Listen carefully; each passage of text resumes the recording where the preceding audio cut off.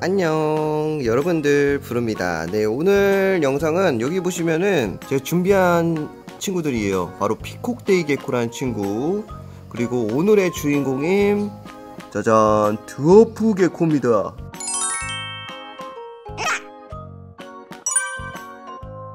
자 여기 보시면 아시겠지만 발색이 조금 발랄하게 올라오면은 이렇게 얼굴 색깔이나 등 색깔이 약간 영롱한 색깔을 띠는 소형종 부치료 도마뱀입니다.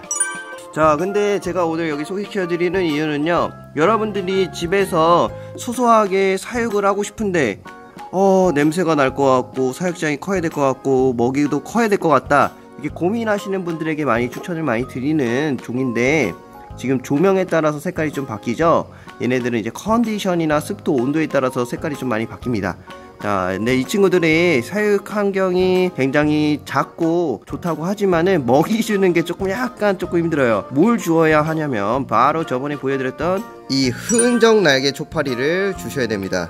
자, 이 흔적나게 초파리도 번식이 굉장히 쉽거든요. 한 번에 진짜 천마리, 오천마리 번식하는 건 기본으로 쉽기 때문에 여러분들 너무 걱정하지 마시고요. 우선 이 dwarf gecko의 사육 방법을 간단하게 알려드리도록 하겠습니다. 여기 보시는 것 같이 작은 큐브 뚜껑에 구멍이 없고 있는지 확인을 잘 하셔야 됩니다. 왜냐면 조그만 구멍이라도 있으면 도망가기 쉬우니까요. 바닥에는 이제 생이끼도 좋고요. 아니면 곤충이끼 저기 뒤에 보이는 곤충이끼 습도를 조절할 수 있는 곤충이끼 그리고 뛰놀 수 있는 유목이나 jungle vine 그 다음에 대나무 같은 거 넣어주시면 되는데 진짜 이쁘다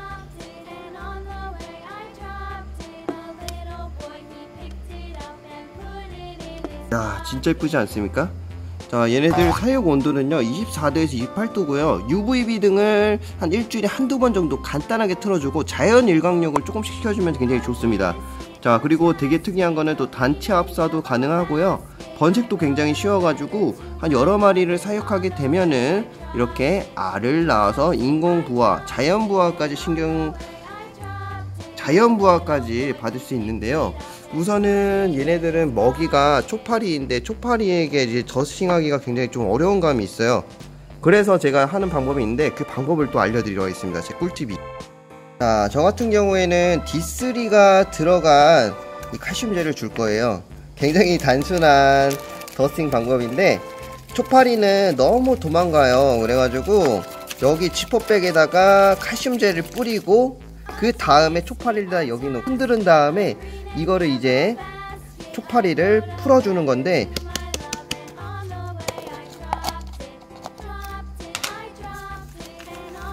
야, 야 진짜 많아. 빠르게 하지 않으면은 다 튀어나옵니다.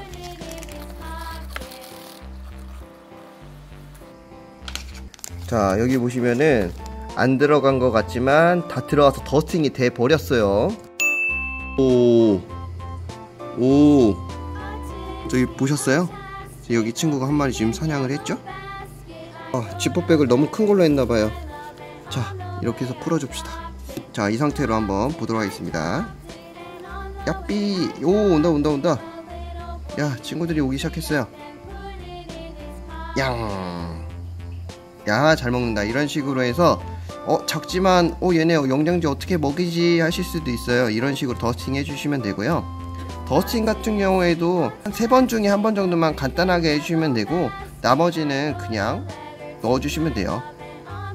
먹이는 이틀에 한번 골로 챙겨주고요. 아이고 귀여워. 지금 여기 세 마리밖에 안 보이는데 저기 안쪽에 굉장히 많습니다. 자 지금 먹이가 있는지 잘 모르는 친구도 있고 지금 먹은 친구도 있고 그래요. 발색이 오 다시 돌아오고 있어요. 아이고 잘 먹는다. 애들이 이제 점점 모이죠 이런 식으로 비바리움이나 작은 사육장으로 그냥 귀엽게 키울 수 있는 장점이 있고요 어, 나름 관상용으로 좋습니다 그리고 수명은 각 약 5년에서 7년 정도로 그렇게 긴 편은 아니지만 어떻게 보면 어떻게 보면 그 시간도 굉장히 긴 편이고요. 그리고 번식도 굉장히 잘하니까 크게 걱정 안 하셔도 될 것 같습니다. 자, 물 같은 경우에는 작은 물그릇을 만들어 놓으면 좋은데요.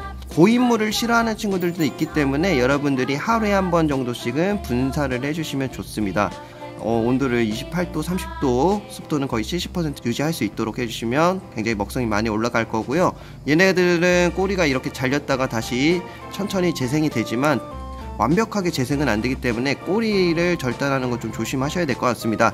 자, 어쨌거나 이렇게 작고 귀여운 이 드워프 개코 소개시켜 드렸고요. 자, 그래서 오늘은 영상 여기까지가 다음에 봬요. 안녕 요시